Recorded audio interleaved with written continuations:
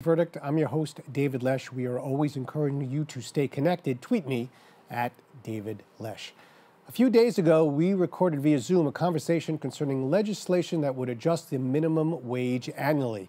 This would automatically respond to the cost of living, and this would give workers the wage increases they need rather than needing a new fight for each raise. Let's watch. All right, welcome back to today's verdict. I'm your host and trial attorney, David Lesch. We have two guests with us today, one by video, the other by uh, just phone. Maritza Silva uh, Farrell, uh, the executive director at Align, is here, as well as a worker from Chipotle, uh, Alyssa Roman. Ladies, thanks for being here. Thank you for Thank having you me for here. It's a pleasure. All right, let's start with you, Maritza. Uh, we're talking about minimum wage uh, and you know how the struggles that you know certainly low income work uh, workers find in our city to be able to really survive given inflation just just it's a very diff- difficult time for them. Could you maybe give us a little bit of a history of the minimum wage in new york and why it's so important that you think we should be making sure we have uh, periodic raises in minimum wage yeah, I mean, absolutely. I can give you a little history in terms of how we actually um, were able to increase the minimum wage uh, 10 years ago to a historical number, which was 15. Um, this uh, happened about 10 years ago, a decade ago. Fast food workers in New York led the way when they walk out of their jobs demanding $15 minimum wage and a union um, from their employers. Um, that specific campaign it was spread nationwide and became the movement known as what we already know right now, the Fight for 15. Um, I mean, we're really proud from the progress that was made back then. Um, and we are going to keep on going. So, uh, actually, I want to share that uh, this fight was led by all workers in the fast food industry back then and it continues to be led by workers who are in the most vulnerable sectors of our economy. And we need to recognize that minimum wage increases. What they do is allows for workers to be able to have sustainable lives. Um, that's the reason why this week we are coming back and we launched a campaign called Raise Up New York with a coalition of workers, labor unions, community groups, and responsible business um, who, that are committed to continue to ensuring that workers earn wages um, and they can they can have a, a, life that they can thrive in. You know, I see. You know, this you know, the bill was you know came up through uh, Senator Jessica Ramos, Assemblywoman Latoya J, uh, and it really it calls for annual minimum wage increases. How do you how do you figure out the amount? I mean, what are you looking at? Are you looking at um, you know year over year inflation how do you figure out the percentage that minimum wage should be raised up every single year? How would you do that? All right let's let's just go to back to the basics right? Like wages sure. let's just understand that right now are too low particularly in the most low wage industries of our economy and let's just point out that the industries that we're talking about are the industries uh, from the workforce that sustain our economy through a pandemic. The same essential workers that we applaud for during the pandemic and we were like thankful to uh, are the same exact workers that are getting paid low wages today.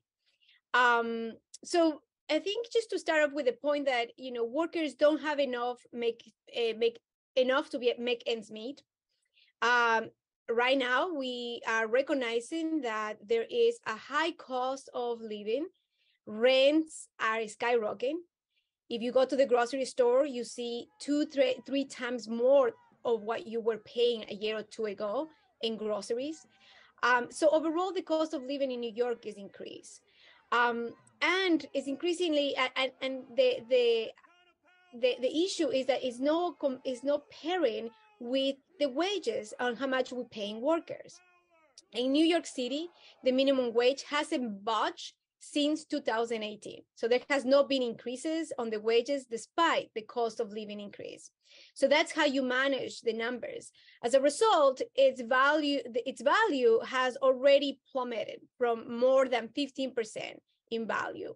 And will fall by uh, more than 30% by 2026 unless we have a legislation like the one that we're going to talk about today that you know allows for increases to happen accordingly to the cost of living as we see it happening.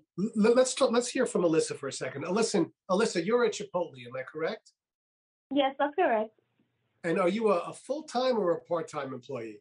Part-time and are you finding it difficult to to make ends meet for you um, honestly, it's very difficult. So when I first started working at Chipotle, I was living with my mother. Um, I'm a, I was a full time student at the t- at the moment. Um, my mom is a single mother, so I try to help her make ends meet as much as possible, especially that she's not working herself. So it makes things really difficult. And now I'm expecting my first child next month. So, and now I'm living in the shelter. So it's very, very difficult do the other employees at Chipotle get together and talk about, you know, the hope that minimum raise minimum wage is raised up, that they could use it? Are these discussions that you hear when you're um, in the restaurant? Sometimes, sometimes people just act like they just tolerate it, you know. They just kind of also make ends meet for their families or their own personal needs. So it's like you know, you just you have no choice but to just suck it up sometimes what's your biggest expense? Is, is it is it the food? Um, is it is it your is it rent? Where where is most of your money going usually that you find that you need that you need an increase in, in your in your hour, hourly rate? Where where would it go to? I mean, before I was pregnant, it was like more just helping my mom pay her bills and then like travel expenses because like a Metro card alone is like 123 monthly, you know? just to travel back and forth to work and get back home safely. And now um it's my daughter, you know, I have my daughter coming next month, so I have to like get everything ready for her, diapers, wipes, clothes, cribs, etc., etc. You know, the normal basic needs for a child. Maritza, let's get back to you for a second. Um, you, you heard from Alyssa. Are these the type of complaints that have become um, worrisome to you in terms of young, you know, young women or, or you know, who are pregnant or having a baby now, uh, and they just need, you know, the help financially? I mean, that's right. Like, and, and, and again, I mean, I want to emphasize that we're talking about workers who are essential workers and have always been essential workers. They are actually sustaining our economy. Um, and, and, and this is the reason why we believe it is time for an increase on the wages. $15 is not enough any longer um, $15 does not allow for basic needs as uh, we're hearing for, from the Chipotle worker. Um, and, uh, you know, at this moment, we need to ensure that folks have a place to live. The cost of living in New York City is just way too high. Rent is way too high. Um, so that's the reason why we are asking for an increase of $20 and more. Um, the way we are setting this up just to address this problem at the moment is just to make it so that the state legislature pass a legislation um, that will increase to 2025 by 2026. And that way, the cost of living and the cost of the wages can increase uh, in some level to be able to allow for folks in this important sector of our economy to be able to have uh, the ability to make ends meet. Well, you know, it's a very important issue. We'd certainly like you to come back uh, on and let us know how it's faring and whether you think you'll have that increase or when you'll have it. Um, but we want to thank you very much, both of you ladies, for coming on the show and giving us some very uh, important insight about the minimum wage. Thank you, David. One thing that I wanted to also point out before we cut out um, that I think might be helpful for folks to know that when we're saying we're wanting to increase the minimum wage for workers, there's not just one small section of the workforce. We're talking about over 2 billion workers across. So many.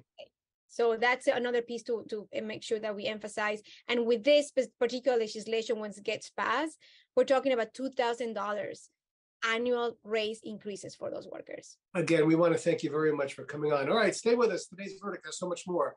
Right thank after. you so much, David. All right, well, that's all the time we have today. I'd like to thank our guests for joining us and, of course, you, the viewers, for watching. If you missed any part of today's show, be sure to check it out at bronxnet.tv. Also, remember, if there is a legal issue or topic you'd like to see on a future edition of today's verdict, Feel free to contact me at davidlesch at bronxnet.org or tweet me at davidlesch and make sure to hashtag Ask Today's Verdict. For myself and all of us at Today's Verdict, always remember know your rights, know your issues, reach a verdict. See you in two weeks.